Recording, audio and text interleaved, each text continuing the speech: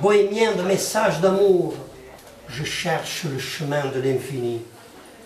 Frontière de rêves et de réalités, paysage de miroir de l'autre. Je sens l'avenir de la neige bleue, léger du souffle de mon Paris. E in italiano una, una raccolta che mi è molto cara intitolata Archi di colori che ha in copertina una illustrazione di Chagall di una favola di La Fontaine che rappresenta il bambino con la mano in braccio alla madre che ha paura e alla finestra c'è il lupo che arriva, quindi il senso della paura. E il volume è diviso in tre parti, peripli, la casa natale e palme d'infanzia. Allora vi leggo qualcosa della, della casa natale che è un tema che è molto caro al più grande poeta francese vivente, e cioè, cioè Yves Bonifaz.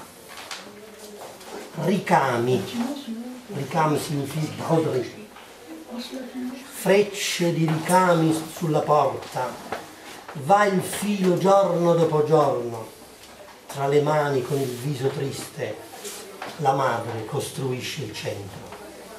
Piano piano appare un uccello, con occhi ridenti di finestra, guarda il cuore della madre correre con punta leggera.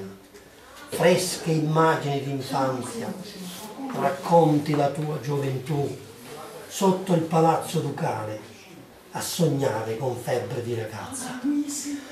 E poi il luogo natale, che io rivedo anche in questi quadri. Noi mediterranei direi siamo molto legati al luogo natale. È chiaro, qualunque cittadino del mondo ha il suo luogo natale, però il cittadino mediterraneo si riconosce in Ulisse, torna sempre al luogo natale, dopo tanti peripli, donde il titolo della prima parte del volume, eh, torna sempre a casa e quindi il luogo natale ha una grande simbologia.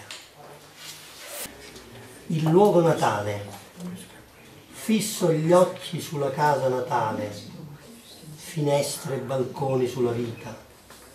La rotta conduce all'immenso, laggiù all'isola dorata. Passano le ombre con le ombre, per lacrime di esilio all'alba. Cerco il sole dell'orizzonte, dove si perde il silenzio. Cose semplici con la luna. Lancio rami alla valle, la verità è dentro di noi, con il grano delle ciglia nere. Dedichiamola a Cettina Bruno perché lei la casa natale, ecco. per lei la casa natale è, allora, è struggente. Le dedichiamo un'altra poesia che si chiama Terra e ancora una volta eh, dedichiamo lei a caro la il luogo natale e della nostra terra. Delirio della sera verso l'isola, le mani rivolte alla luna, l'azzurro dell'antica rotta, brilla sulle palme del sogno. Terra, terra di febbre, terra, terra di ferite, terra, terra di amore, terra, terra di morte. Meteora della lampada, l'olio dice la parola, cura le mie cicatrici nell'aria degli astri passanti. C'est la Méditerranée qui représente tous les éléments sens de la parole, parce que nous, les Méditerranéens, nous sommes des porteurs de parole, nous sommes des passeurs de parole. Comme nous Gino aimons Baglieri, la parole, comme comme Gino Baglieri, encore une fois, Dotta, je me reconnais dans ces toiles et je félicite ce peintre que je ne connaissais pas, mais j'ai immédiatement reconnu euh, les traces de notre enfance, de notre jeunesse et de notre vie.